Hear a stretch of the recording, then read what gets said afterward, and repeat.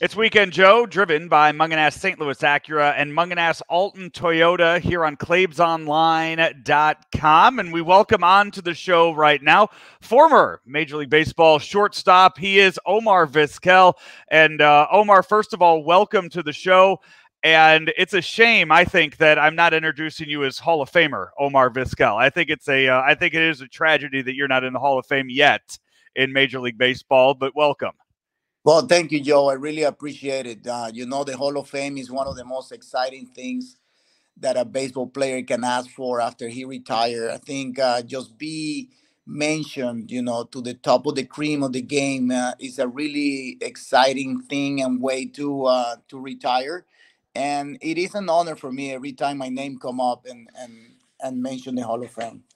Uh, two. I'm, I got the numbers up here. Two thousand eight hundred and seventy-seven hits. So uh, just short of the the three thousand number, and eleven Gold Gloves. Uh, in your day here in St. Louis, I mean, as you as you know of just you know being a baseball guy, uh, we know a thing or two about Gold Gloves here in St. Louis, especially at that shortstop position. Eleven Gold Gloves is uh, just an amazing accomplishment. And you and I were talking about it before we went on the air. You only came through St. Louis one time in in your career. That's uh, that's unbelievable. Yeah, it is crazy. You know, uh, from all the teams that I play, uh, I play only for the Giants in the National League. Uh, I played there for three years because uh, there was a year where I was hurt and I didn't get to go to St. Louis very often. Obviously, it's a beautiful town, uh, the land of my favorite shortstop, Ozzie Smith. And, you know, it's just awesome every time that they start comparing numbers with him it, it's just an honor for me just to be uh, on that kind of conversation, talking about the best. And too sad that I didn't get to see him taking grounders or, or watching play. Um, you know, I always see the highlights on TV, but that's all I got from from Ozzie. So defensively, and being a as as a good of a defensive shortstop as you were, just watching the highlights of Ozzie Smith, what kind of things can did you learn just from watching highlights of Ozzie Smith as you were growing up and as you were learning how to play at the big league level? Well, obviously, uh, not everybody got the the hand coordination and the arm and the strength. Every shortstop is different. Uh, they build different. I noticed that Ozzie have a really strong arm that uh, he got a, a great range because uh, we have to do it when we play in turf. In extra turf, you have to play a little deeper and you have to get to a lot of balls, diving uh, balls, and and obviously the the trademark that was a flip every time that he took the field. But you know, um, um, I got my way to fielding ground balls. Uh, you know, he uh, have a different way. Uh, I think the American style of fielding ground balls is a little bit of different than than the Latino way. Um, you know, um, I consider um, uh, Ozzie one of the best ever to play the position, and just the fact that you get to see the highlights making those plays is just unreal. What what is the difference? How how how what is the difference between the way the you said Latino players take ground balls and, and American players take ground balls? What uh, dive into that a little bit for me. I think the the American way is more technique where the Latino have this this flow of fielding ground balls with one hand. Uh, sometimes that was what what other people said when we were taking rounders. how come you don't take the ball with two hands how come you don't you don't do that and and you know i guess it's it's like playing baseball in this in the bad fields when you were young that, that you get to do all the the one hand thing. Uh, i remember watching tony fernandez also was uh, from the dominican republic a guy that always take ground ball and throw the ball on their hand all the time to first base.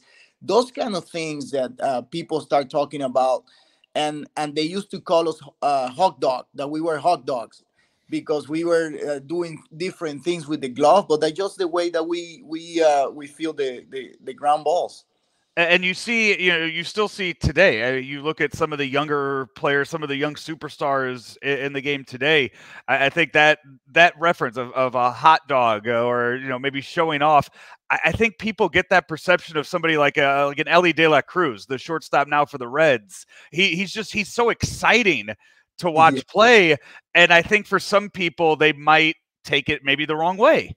Yeah exactly. I mean it, like styles are so different. You know, when you see guys with that with that height and and the arm that he has, you know, he can do the kind of things that he does. Like, you know, my thing was the quickness. I like to get rid of the ball as quick as possible with a combination on my feet, uh, get set up in a different way, and you know that probably uh, wrought off uh, uh, differently with with some infield coaches.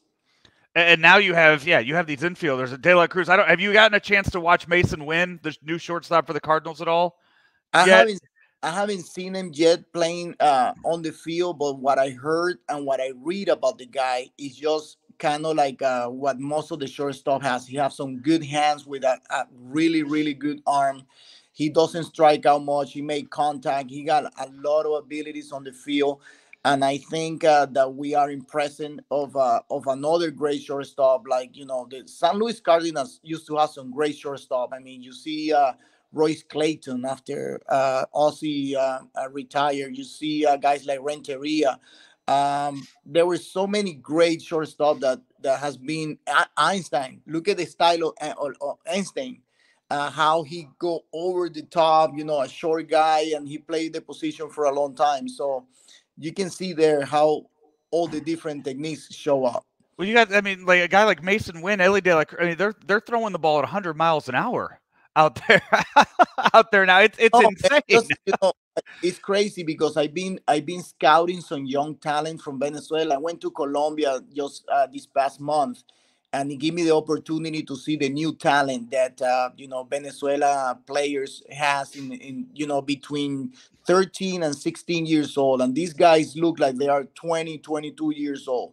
The tools and the arms and the way that these guys move around the field is just amazing. And it just show you how much baseball has been evolving and their techniques and the teaching ways and the different ways that they're doing to improve the the players and the evolution of that position too it's it's really when you think about it i mean shortstop always from a young age it always seems like oh your best player plays shortstop. That's you know from the time you're 10 years old learning to play the game that that best player is going to be the shortstop but you're seeing that evolve over the years now too. As you mentioned you're seeing these guys now as you're scouting. It seems like the talent or the skill set seems to be changing, but yet they're still the most talented, most athletic ones out there on the field, right? Yeah, I mean, uh, uh, the position of obviously is very demanding. It's very quick, and you see guys uh, that are really tall and strong, moving like like light like lightweight. Uh, you know, their feet move so fast. Uh, every position, like you see, uh, first baseman, catchers, with these amazing bodies that can just hit the ball out of the ballpark. Before you you get to see two or three guys in the team that carry the load of the heavy, uh, you know, the heavy balls, hitting the ball a long way. But these these guys right now in every position can show you how strong they are with uh, you know there was a, a flash in the pan of the shift that was that was so big in baseball for a handful of years and seemed to affect the game in so many different ways and now it's gone. As you're scouting and as you see some of these younger players coming up do you think that we're going to see any kind of effects from that or was it just is it already kind of past to where we're not you know the young guys aren't going to be that affected man, I'm so glad that they get rid of the shift because it gives you uh um it gives you more room to work with in your position. As a shortstop when you move to the second base size, um, you know you lose some of that athletic abilities to go over in the hole and make the play. I think it's great that you get to stay on the left side on the field. You get to show more range and also the second baseman have to show uh, the, the quickness on his feet turning the double play and everything it's it's just the way that we grew up watching the game, and it's just the way that it should be. And I understand the analytics, and I understand that you know where, wherever the ball is gonna be hit, that you're supposed to be. But I think it take a little bit away from the abilities of the infielders, and I think that is great that they just went back to the old to the old ways. Yeah, it's uh and you're I mean you saw instant results too. You saw the batting averages go up and you uh you saw that the game I mean so as a former player was it, how how often do you watch games a week? How at the, at the major league level? I know you said you're scouting, but what is your involvement in I guess just following the game, watching the game? How how much of a fan are you? Well, I am a big fan. Uh, I think it's hard for you to uh, to get rid of uh, your roots and the game that you love so much. You want to be connected to the game somehow, like I'm doing it. Uh, I probably watch two or three games uh, a week, but uh, you know it's hard to sit down the whole nine innings. You go to from game to game and start watching all the new talent and the way that the, the game has been developed. You know, I love to watch the Cleveland India, the the Cleveland Guardians uh, because of my roots that I had there. I, I like to see the, the Seattle Mariners now because it's one of the hottest teams that, that, that is playing baseball right now. The Atlanta Braves and watching this young guy, Ronald Acuna, uh, uh, playing the game has been just so exciting. All these new uh, players that are coming in and are making their mark in the big leagues. It's just very, very uh, uh, entertaining to see these guys play the game.